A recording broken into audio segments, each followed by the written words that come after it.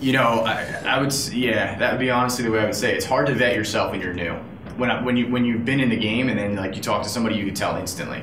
But when you don't know, you've got to kind of figure that out. So I would say when you're around it enough, you'll know who's a player, who's not, who's probably somebody you should stay away with, who's not. Um, trust your instincts too. You know, if you're like, hey, this sounds like a lie, or this guy, you know, this guy or girl seems really sleazy.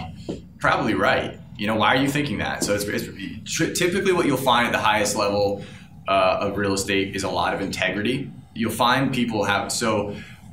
Um, the lowest levels, people think, oh, you're going to steal my deal. I can't give you that address. You're going to do this.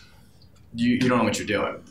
The highest level are you make a phone call, you agree on a price, and that's a done deal. The contract is just a formality. So the integrity level of the bigger players is very high.